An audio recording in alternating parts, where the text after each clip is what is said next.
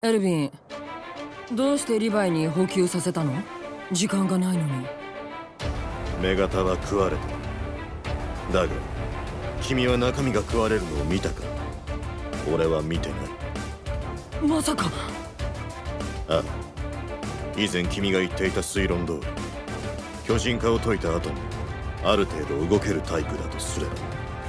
そしてあらかじめ立体起動装置をつけていたとしたら女型の中にいた奴は今我々と同じ制服を着て我々兵士の中に紛れ込んでいる。でもそれはエレンが巨人から出た時の状況を考えるとできそうもないって結論付けたはずでは？装備は破損して戦闘服さえなくなってたし何よりエレン本人が自力で立つことができないほど憔悴していた。女型の巨人は叫び声で巨人を引き寄せる能力を持っている我々はそれを予想できず作戦は失敗した。巨人の力に連動があるとしたらその力において初心者のエレンを基準に考えるのは間違いだった。あの敵を出し抜くためには発想を飛躍させる必要がある。敵が力を残す術を持っているなら再び巨人を出現させることもできるかもしれん。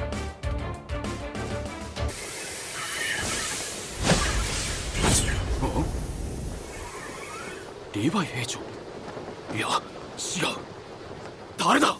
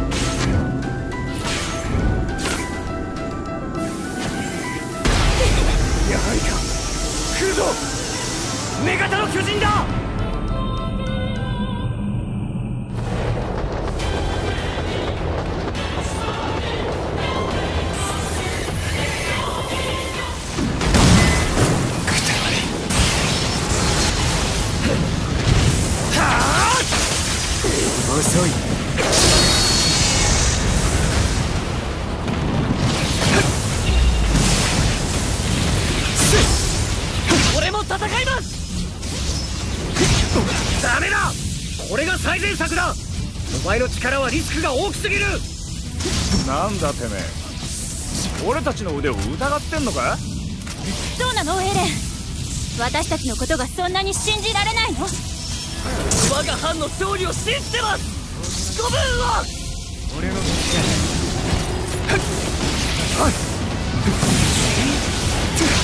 進もう。振り返らずに救援要請だ無視はできねえだ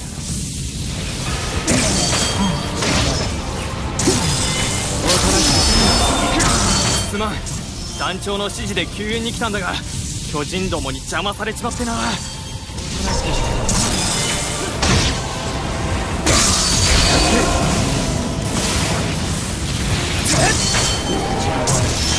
さあここで補給するんだ。面白いすがしやがるおと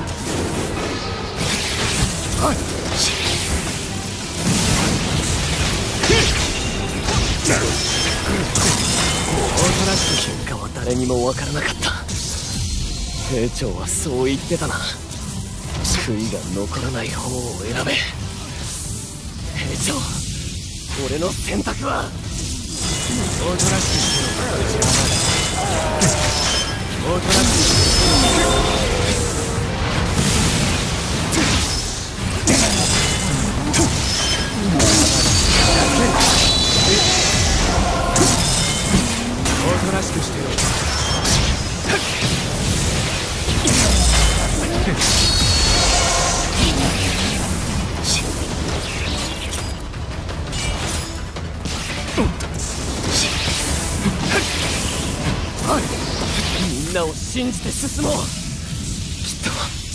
れが正解なんだ。今殺す。ここで惨めに死ね。サメ型に向かいよ。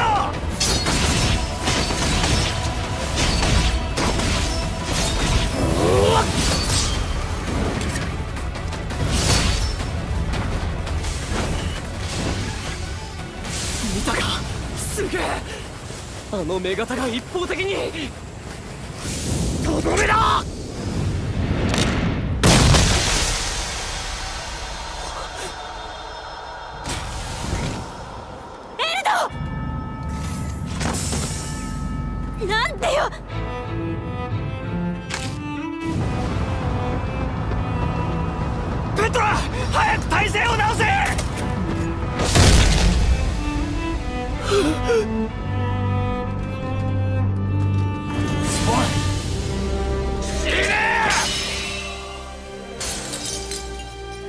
なぜだ？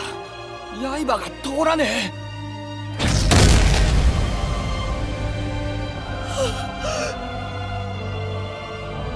俺が選択を間違えたから。みんな死んだ。こいつを。こいつを殺す！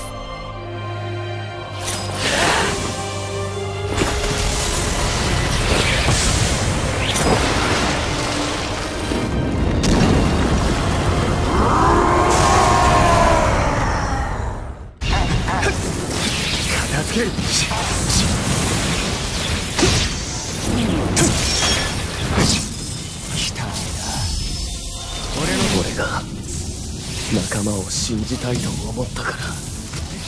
みんな。俺が最初から。自分を信じて戦っていれば。最初から。こいつをぶっ殺しておけば。あの時巨人になっていれば。いやもっと前に戦っていれば。リヴァイ兵長もいたんだ。絶対に勝てた。捕獲だってできたかもしれない。俺が俺が選んだ。俺がした選択でみんな死んだ。俺のせいでみんなが。だけどやっぱりお前が悪い。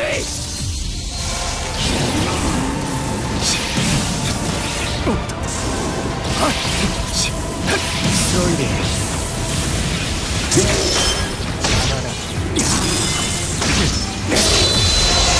面白い気がしやがる片付ける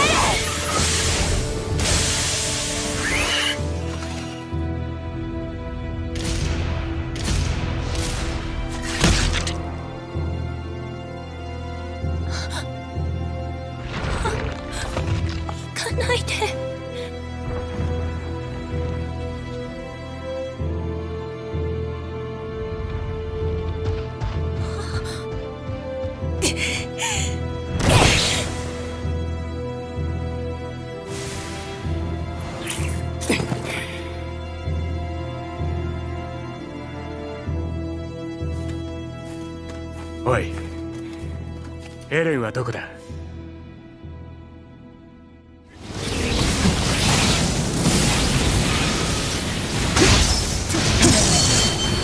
援要請を確認した。援護に向かう。どうやらエルヴィンの判断は正しかったらしいな。ったく次から次へと湧いてきやがる。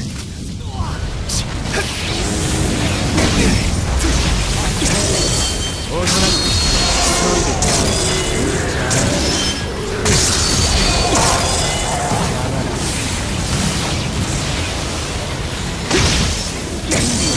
オートナックしてろ邪魔だ行くし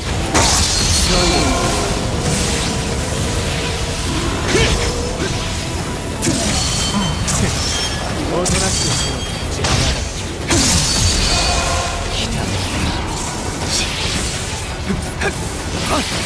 たうぞ。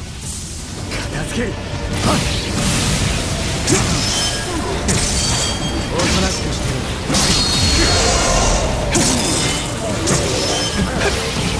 戦いが長引けば奴に逃げられる。エレンの救出に目的を絞るぞ。面白い面しやがって団長の指示でエレンたちを助けどうやら私が囲まれちゃったみたいでね。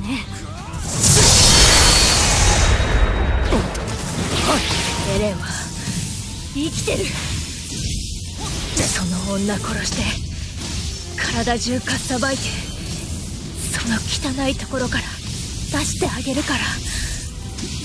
落ち着け。エレンを救い出すことに専念しろ。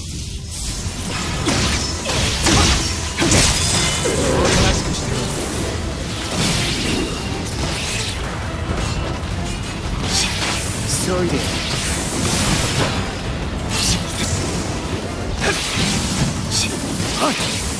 よし。この拠点で補給していくといい。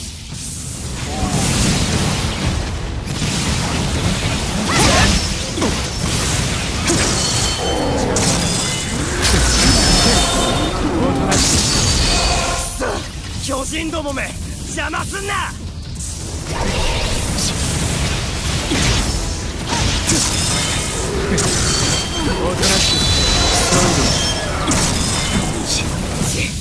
巨人どもが邪魔だな。おと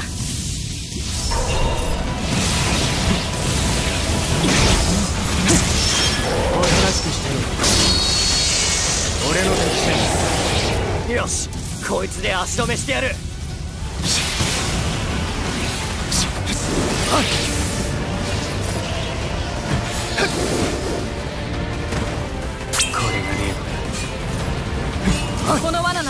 少しは奴の足を止められるはずだ。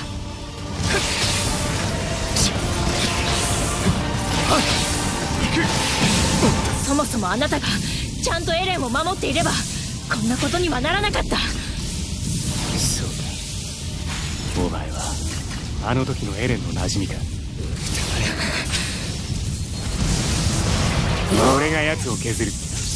お前は注意を引け。早い。早すぎて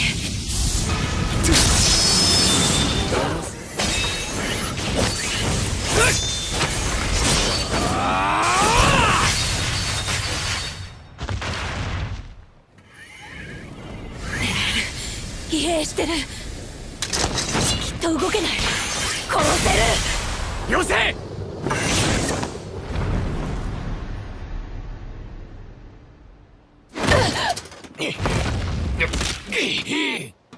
多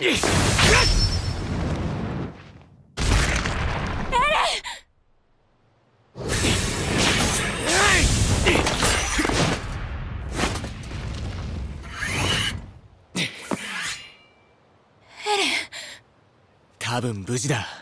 生きてる。もう奴には関わるな。撤退する。作戦の本質を見失うな。自分の欲求を満たすことの方が大事なのか。前の大切な友人だろ